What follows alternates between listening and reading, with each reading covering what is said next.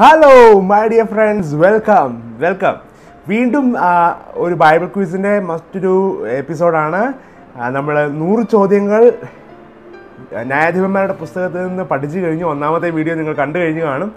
ഇത് നൂറ്റി ഒന്നാമത്തെ ചോദ്യം മുതൽ ഇരുന്നൂറാമത്തെ ചോദ്യം വരെയുള്ള ഒരു എപ്പി എപ്പിസോഡാണ് നിങ്ങൾ തീർച്ചയായിട്ടും ബൈബിൾ വായിക്കണം. ബൈബിൾ വായിച്ചിട്ടേ ഇത് കേൾക്കാവൂ. അല്ലെങ്കിൽ ശരിയാകൂല ശരിയാകൂല ശരിയാകൂല ബൈബിൾ നല്ലോണം വായിക്കണം. ഫ്രണ്ട്സ് ഈ ചാനൽ നിങ്ങൾ ആദ്യമായിട്ടാണ് കാണുന്നതെങ്കിൽ സബ്സ്ക്രൈബ് ചെയ്യാൻ മറക്കരുത്. ബെല്ലൈക്കൺ കൂടെ ഒന്ന് എനേബിൾ ചെയ്യണേ. നൂറ്റി ഒന്നാമത്തെ ചോദ്യം ഇതാണ്.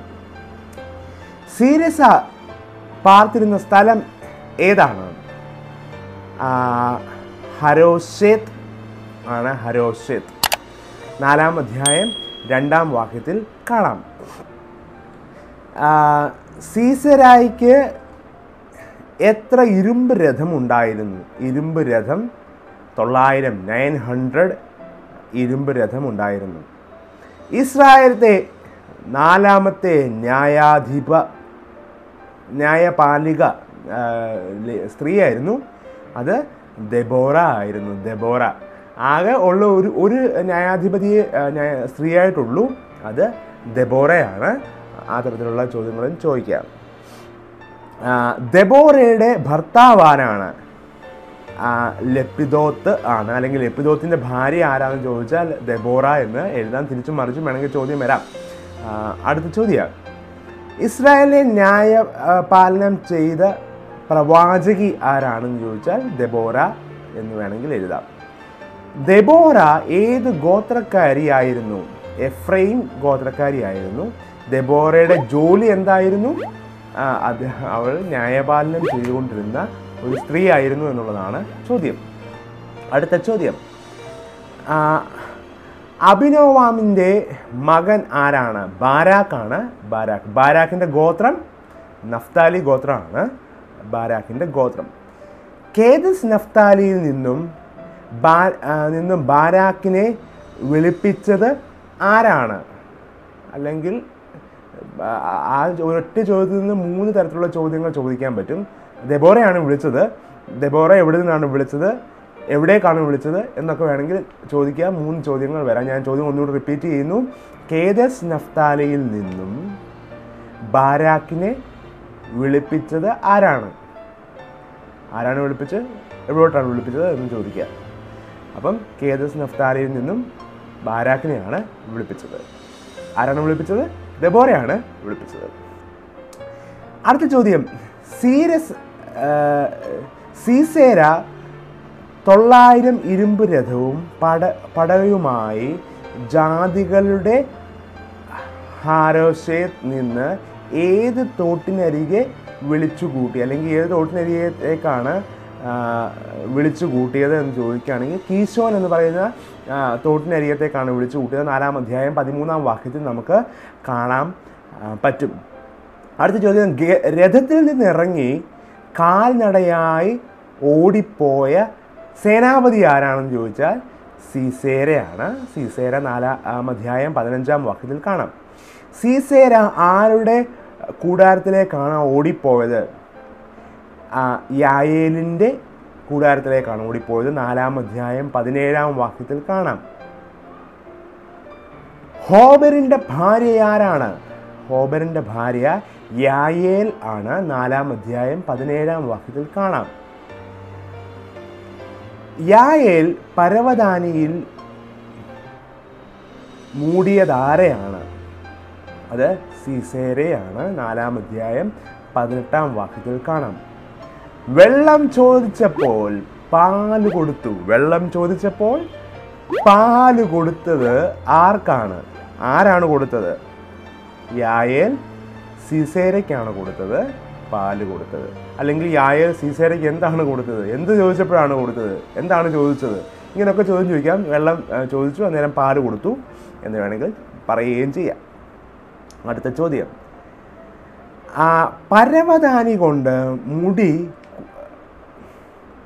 കൂടാരത്തിൽ ഒളിപ്പിക്കപ്പെട്ടവൻ ആരാണ്? സീസേരയാണ് ഒളിപ്പിക്കപ്പെട്ടത്. സീസേരയെ കൊന്ന ആ സ്ത്രീ ആര്? യായേൽ ആണ്. നാലാം അധ്യായം ഇരുപത്തിയൊന്നാം വാക്യത്തിൽ കാണാം. ഇസ്രായേൽ മക്കൾ നിർമൂലമാക്കിയ കനാന്യ രാജാവാനാണ്. യാബീനാണ് അഞ്ചാം അധ്യായം ഇരുപത്തിനാലാം വാക്യത്തിൽ ഒരു ഹിൻഡ് നൽകുന്നുണ്ട്. ഇസ്രായേലിൽ മാതാവായി എഴുന്നേറ്റത് ആരാണ്? ദബോര ആണ്. ദബോര ഖനമേറിയ മനോനിർണയങ്ങൾ ഉണ്ടാക്കിയത് എവിടെയാണ്? രൂപേരിന്റെ നീർച്ചാലുകൾക്ക് അരികത്താണ് ഉണ്ടാക്കിയത്. അഞ്ചാം അധ്യായം പതിനഞ്ചാം വാക്യത്തിൽ കാണും ഗിളയാതെ എവിടെ പാർത്തു? യോർദാന് അക്കരെ പാർത്തു.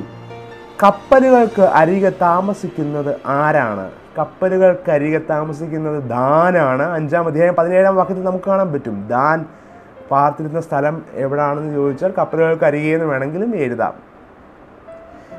പ്രാണനെ ത്യജിച്ച ജനമാര് സെബുലൂൻ ആണ്. സെബുലൂൻ. സെബുലൂൻ അഞ്ചാം അധ്യായം പതിനെട്ടാം വാക്യം. നൂറ്റി ഇരുപത്തഞ്ചാമത്തെ ചോദ്യമാണ് ഈ ഈ എപ്പിസോഡിൽ ഇരുപത്തഞ്ചാമത്തെ ചോദ്യമാണ്. പോർക്കളമേടുകളിൽ നിന്നും പാടിയത് ആരെക്കുറിച്ചാണ്? അല്ലെങ്കിൽ പോർക്കളമേട്ടിൽ പാട്ടുയർന്നത് ആരെ ആരെ പറ്റിയുള്ള പാട്ടാണ്? നഫ്താലിയെ പറ്റിയുള്ള പാട്ടാണ് ഉയർന്നു വന്നത് നഫ്താലി. ആകാശ നക്ഷത്രങ്ങൾ പൊരുതി അവ സ്വഗതികൾ പൊരുതിയത് ആരോടാണ്? സീസരയോടാണ്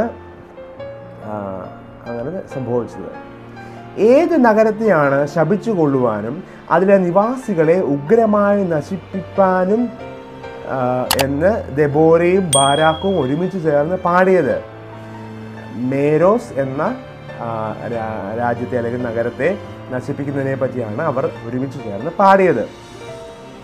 നാരി ജനനത്തിൽ അനുഗ്രഹം പ്രാപിച്ച ആൾ ആരാണ്? യായേൽ ആണ്. അഞ്ചാം അധ്യായം ഇരുപത്തിനാലാം വാക്യത്തിൽ കാണാം. കീഴ്വാതിലുകളിലൂടെ നോക്കിക്കൊണ്ട് ജാലകത്തിലൂടെ വിളിച്ചു പറഞ്ഞത് ആരുടെ അമ്മയാണ്? സീസേരയുടെ അമ്മയാണ്. തിരിച്ചുമൊക്കെ ചോദ്യം ചോദിക്കാവുന്നതാണ്. ഇസ്രായേലിൽ ആധിക്യം പ്രാപിച്ചത് ആരാണ്? മിദ്യാനീർ ആണ്. മിദ്യാനീർ ആറാം അധ്യായം രണ്ടാം വാക്യത്തിൽ കാണാം.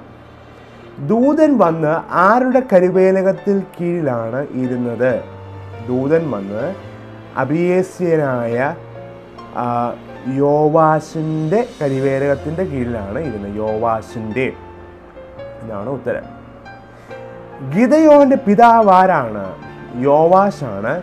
ഗിതയോന്റെ ദേശം ഒഫ്രയാണ്. ഗിതയോന്റെ കുലം മനശ എന്ന് പറയുന്ന കുലമാണ്. അയ്യോ ദൈവമായ യഹോവേ ഞാൻ യഹോവയുടെ ദൂതനെ അഭിമുഖമായി കണ്ടുപോയല്ലോ എന്ന് പറഞ്ഞത് ആരാണ്? ഗിതയോനാണ് കണ്ടു പറഞ്ഞത്. ഗിതയോൻ യഹോവയ്ക്ക് പണിത യാഗപീഠത്തിന്റെ പേര് എന്താണ്? യഹോവ ശാലോം എന്നാണ് യഹോവ ശാലോം. ആറാം അധ്യായം ഇരുപത്തിനാലാം വാക്യത്തിൽ കാണാം. ഗിതയോൻ യഹോവയ്ക്ക് യാഗം കഴിച്ച കാളയുടെ പ്രായം എത്രയാണ്? ഏഴ് വയസ്സാണ് ആറാം അധ്യായം ഇരുപത്തിയഞ്ചാം വാക്യത്തിൽ കാണാം. കുടുംബക്കാരെയും പട്ടണക്കാരെയും പേടിച്ച് പകൽ സമയത്ത് ചെയ്യാതെ രാത്രിയിൽ ഒരു പ്രത്യേക കാര്യം ചെയ്തത് ആരാണ്? ഗിതയോനാണ് ആ തരത്തിൽ ചെയ്തത്. ഗിതയോന് എരുബാൽ എന്ന് പേരിട്ടത് ആരാണ്? യോവാഷ് ആണ് അല്ലെങ്കിൽ യോവാഷ് ഗിതയോനിട്ട പേരെന്ത് എന്ന് എന്ന് ചോദിച്ചാലും ഈ ആൻസർ എഴുതാവുന്നതാണ് എരുബാൽ എന്നാണ് പേരിട്ടത്.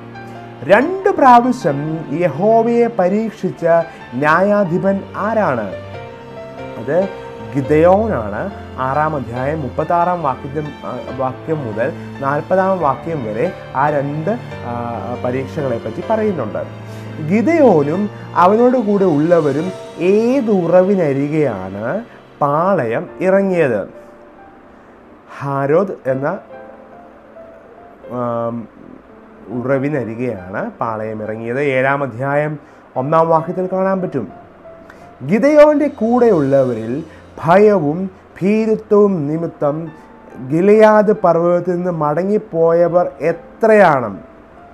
ഇരുപത്തിരായിരം പേരാണ്. ഏഴാം അധ്യായം മൂന്നാം വാക്യത്തിൽ കാണാം.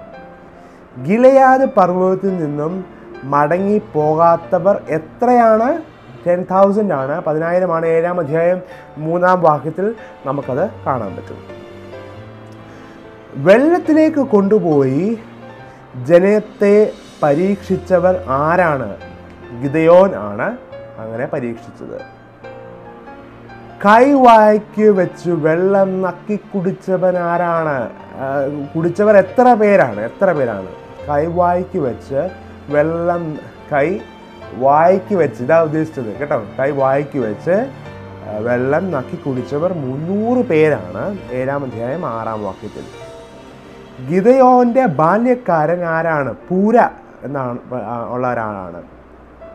ഓരേബിനെ കൊന്നത് എവിടെ വെച്ചാണ്? ഓരേബ് പാറയിൽ വെച്ചാണ്. ഏഴാം അധ്യായം ഇരുപത്തിയഞ്ചാം വാക്യത്തിൽ കാണാം. സേബിനെ കൊന്നത് എവിടെ വെച്ചാണ്? സേബ് മുന്തിരിച്ചക്കിന്റെ അരികിൽ വെച്ചാണ് കൊന്നത് ഏഴാം അധ്യായം ഇരുപത്തിയഞ്ചാം വാക്യത്തിൽ കാണാം. സേബിനെ കൊന്ന മുന്തിരിച്ചക്കിന്റെ പേരെന്താണ്? സേബ് എന്നാണ് ആ മുന്തിരിച്ചക്കിന്റെ പേര്. നൂറ്റി അൻപതാമത്തെ ചോദ്യം അല്ലെങ്കിൽ ഈ എപ്പിസോഡിലെ അൻപതാമത്തെ ചോദ്യം. ഓരേബിന്റെയും സേബിന്റെയും തല വെട്ടി ആരുടെ അടുത്ത് കൊണ്ടുപോയി? ഗിതയോന്റെ അടുക്കൽ കൊണ്ടുപോയി. ഏഴാം അധ്യായം ഇരുപത്തഞ്ചാം വാക്യത്തിൽ കാണാം. കാട്ടിലെ മുള്ളും പറക്കാരെയും കൊണ്ട് സുക്കോത്ത് നിവാസികളെ ബുദ്ധി പഠിപ്പിച്ചവൻ ആരാണ്? ഗിതയോനാണ്.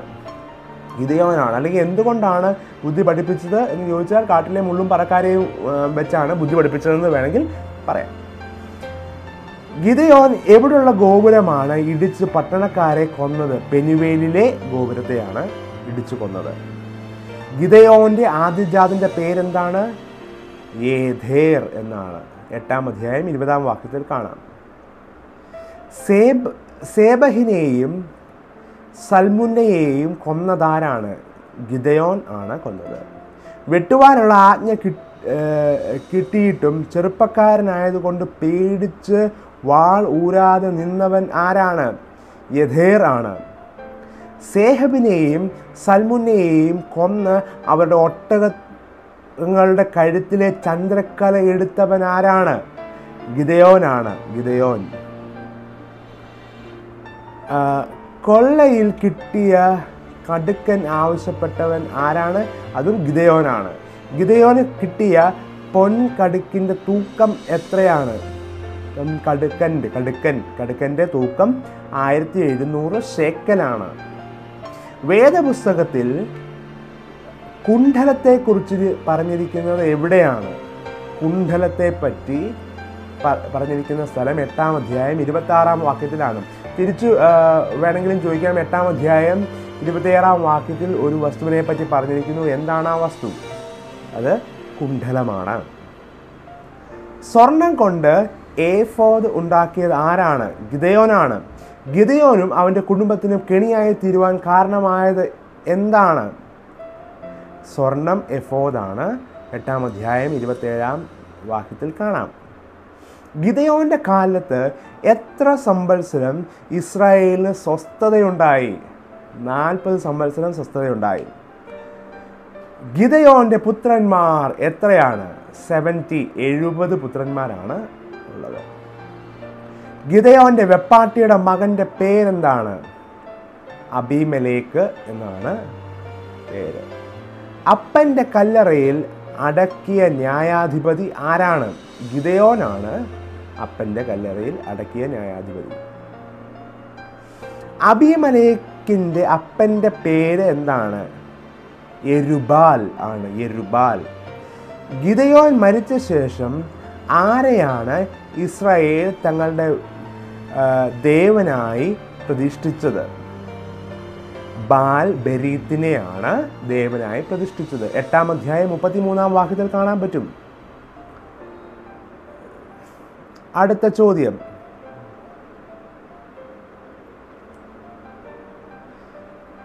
ശേഖി പൗരന്മാരിൽ ഏത് ക്ഷേത്രത്തിൽ നിന്നാണ് എഴുപത് വെള്ളിക്കാശ് അബിവലേക്കിന് കൊടുത്തത്? ബാൽബരീത്ത് ആണ്.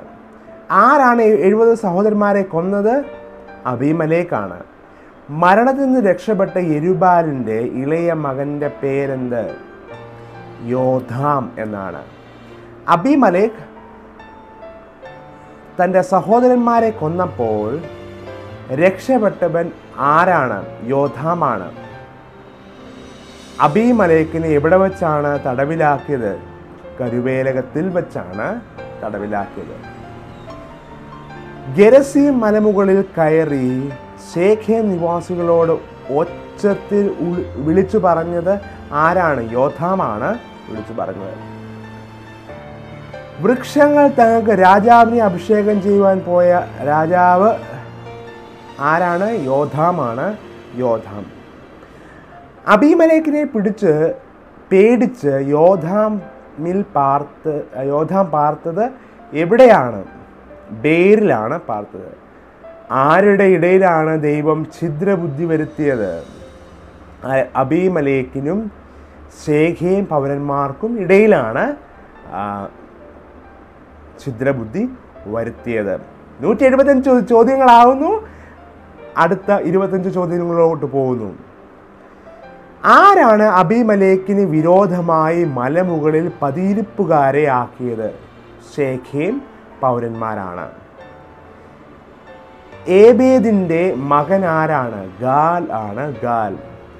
ഷേഖേമിലെ മുന്തിരിത്തോട്ടത്തിലെ കുല അറുത്ത് ഉത്സവം കൊണ്ടാടിയത് ആരാണ്? ഗാലും അവരുടെ സഹോദരന്മാരും ചേർന്നാണ് ഉത്സവം കൊണ്ടാടിയത്. സെബൂൾ അബിമലേക്കിന്റെ ആരായിരുന്നു? സെബൂൾ അവിടെ ഒരു കാര്യസ്ഥനായിരുന്നു അബിമലേക്കിന്റെ കാര്യസ്ഥനായിരുന്നു.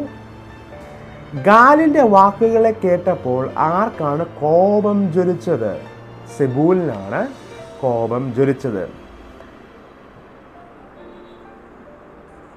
ഗാലിന്റെ വാക്കുകൾ കേട്ടപ്പോൾ കോപം ജ്വലിച്ച് സെബൂൽ ആരായിരുന്നു? ഷേഖേം നഗരാധിപൻ ആയിരുന്നു. ഒൻപതാം അധ്യായം മുപ്പതാം വാക്യത്തിലൊക്കെ ആ ആൻസർ കാണാൻ പറ്റും. ശേഖേം പട്ടണത്തെ ഇടിച്ചു കളഞ്ഞ് അതിൽ ഉപ്പ് വിതറിയതാരാണ്? അഭിമലേക്കാണ് ഉപ്പ് വിതറിയത്. ശേഖേ നിവാസികൾ അഭിമലേക്കിനെ പേടിച്ച് എത്ര ക്ഷേത്ര മണ്ഡപത്തിലാണ് അല്ലെങ്കിൽ ഏത് ക്ഷേത്ര മണ്ഡപത്തിലാണ് കിടന്നത് എൽബേരിത്തിന്റെ ക്ഷേത്ര മണ്ഡപത്തിലാണ് കിടന്നത്. സൽമോൻ മലയിൽ കയറി മരക്കൊമ്പ് വെട്ടിക്കൊണ്ടുവന്ന് ബെൽബേരി ക്ഷേത്ര മണ്ഡപത്തിനരികെ തീയിട്ട് ആയിരം ശേഖിയ നിവാസികളെ കൊന്നത് ആരാണ്? അഭിമലേക്കാണ് അഭിമലേക്ക് മതിലിൽ ഇരുന്നു കൊണ്ട് ഒരു സ്ത്രീ തിരികല്ലിന്റെ